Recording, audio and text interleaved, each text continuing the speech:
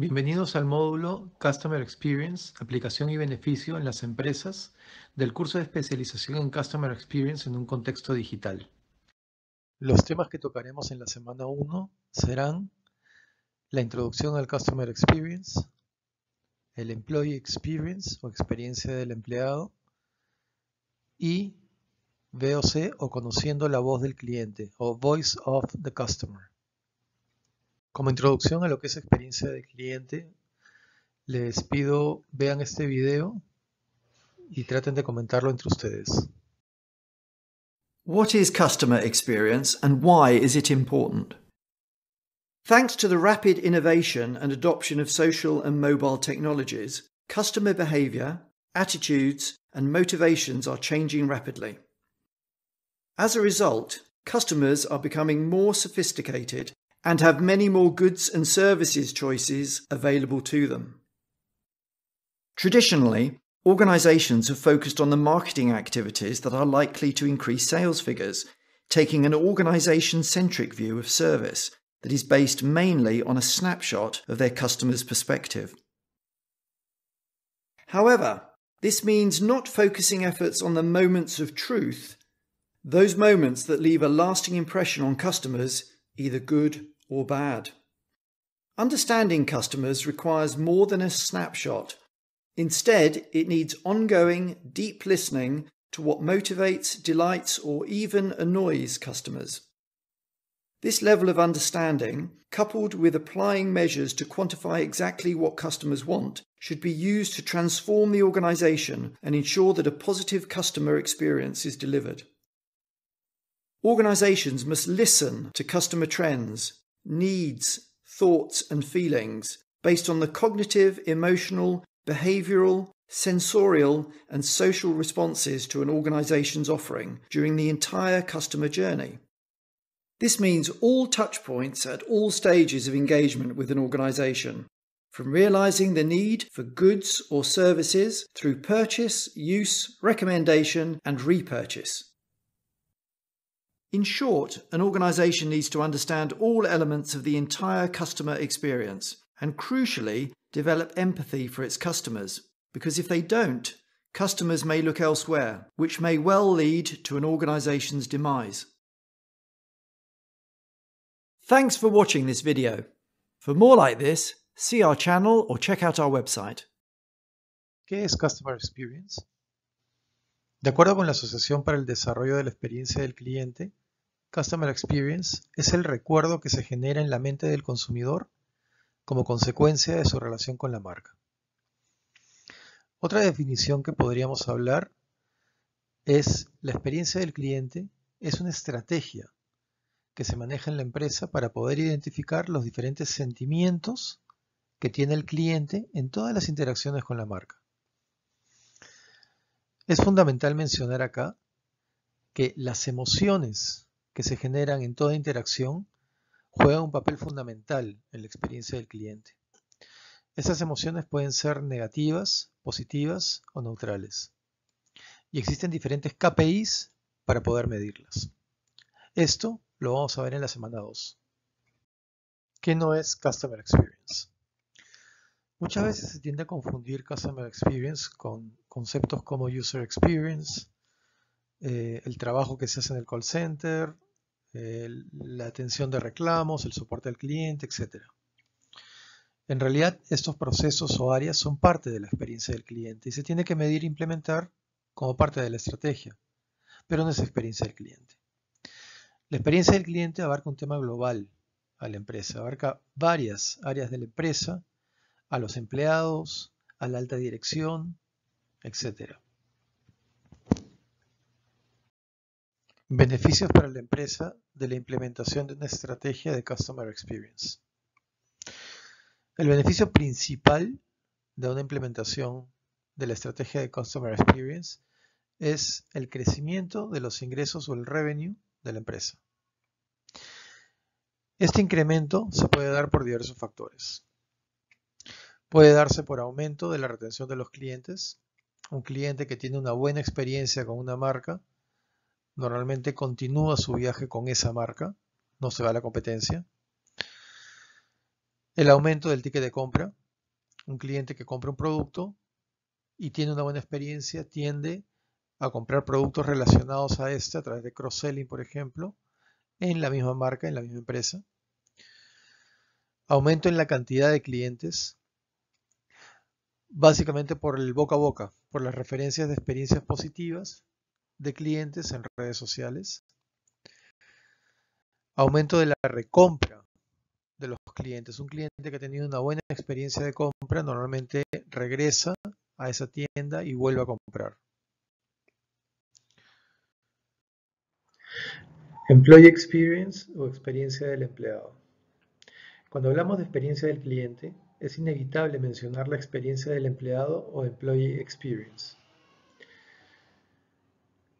La Asociación para el Desarrollo de la Experiencia del Cliente define la experiencia del empleado como la vivencia de las personas en la relación profesional con una organización, incluyendo todos aquellos momentos que suceden antes, durante y después del vínculo profesional. Es decir, la experiencia del empleado ocurre desde el proceso de evaluación, cuando la persona está todavía no ingresando a la empresa, sino está por ingresar a la empresa, hasta su retiro de la empresa. Esta vivencia se ve condicionada por las expectativas que los empleados tienen de los diferentes momentos e interacciones con su compañía. Y además incluye no solo las relaciones formales, sino también las informales, así como los eventos vitales que tienen un impacto en la relación profesional con la organización. El Employee Experience es fundamental para manejar una buena experiencia del cliente. Si los empleados no están contentos en el ambiente donde trabajan, no van a poder transmitir emociones positivas a los clientes. Únicamente se dedican a cumplir más que a exceder las expectativas que se tienen de ellos. Cuando hablamos de experiencia del cliente, dos clientes clásicos que aplican bien la experiencia son Starbucks y Apple. Sin embargo, normalmente no se acostumbra hablar del Employee Experience en, en estas marcas. Vean este video donde Starbucks cuenta su experiencia en el manejo del Employee Experience, en donde los empleados básicamente son como una familia.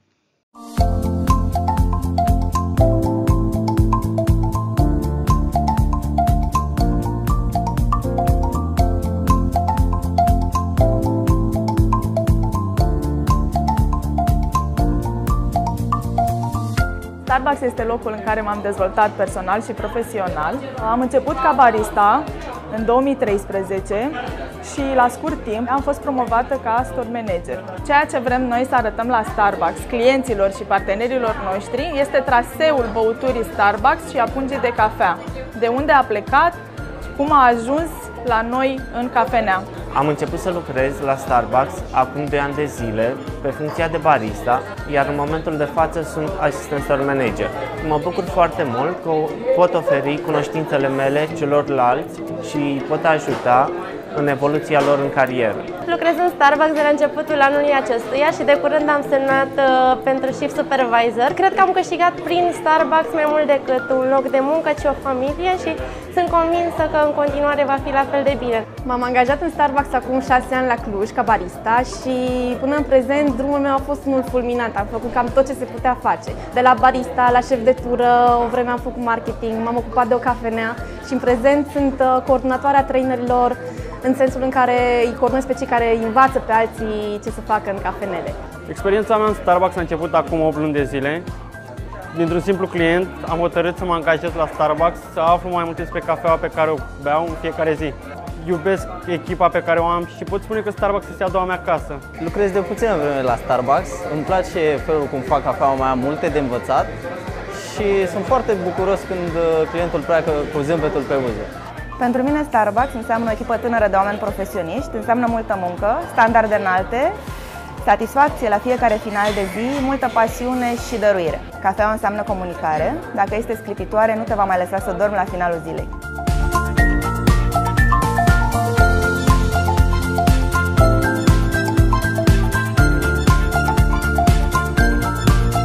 Călătorie. Evoluție. Bucurie, Excelență, Echipă. Distracție. comunicare.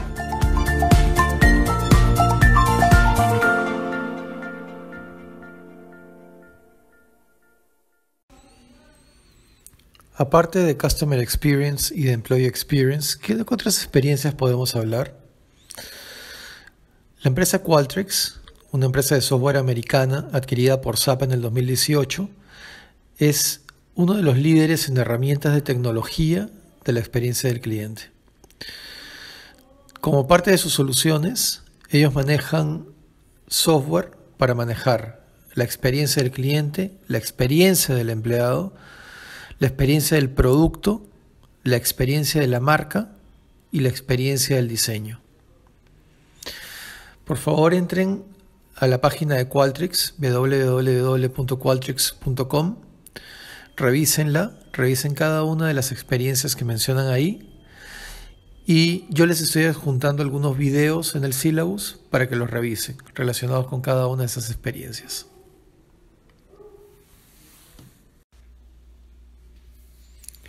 Voice of the Customer o voz del cliente es un término muy utilizado en investigación de mercado que describe el feedback del cliente en relación a sus experiencias o expectativas de un producto o servicio de una empresa o marca. La voz del cliente se refiere a la experiencia que ha tenido el cliente al comprar algo de tu marca o al utilizar tus servicios. Existen diversas herramientas para medir la voz del cliente, entre ellos las encuestas, la métrica NPS o Net Promoted Score, lo vamos a ver más adelante, los formularios online, las redes sociales, WhatsApp, email u otros medios. Para poder tener un programa exitoso de Voice of the Customer, hay que seguir unos pasos. En primer lugar, tener los objetivos del programa claro. ¿Qué se quiere medir? Segundo lugar, implicar a las partes interesadas. En tercer lugar, compartir los informes resultantes a la empresa, sobre todo a la alta gerencia. En cuarto lugar, realizar todas las integraciones que se tengan que hacer con las aplicaciones. Y finalmente, medir el ROI. Una plataforma para medir la voz del cliente se llama Lykick Customer Experience. Es un software español de captura y análisis de la voz del cliente. Permite la integración con diversos medios y con toda la data recibida permite hacer el análisis de la información para leer correctamente la voz del cliente. Les pido explorar el sitio web www.lykick.com y ver todo lo que cuentan ahí sobre este software. Autoevaluación de lo aprendido. Les dejo algunas preguntas. ¿Aplicas Customer Experience en tu empresa? ¿La mides? ¿De qué forma? ¿Qué empresas peruanas conoces con un excelente Employee Experience? Como cierre de la presentación, quiero tocar tres puntos. El primero, Customer Experience es una estrategia que permite incrementar el revenue de las empresas. Segundo, no existe Customer Experience sin Employee Experience. Tercero, la voz del cliente es todo el input que generan los clientes y que podemos capturar y analizar para tomar acción sobre estos.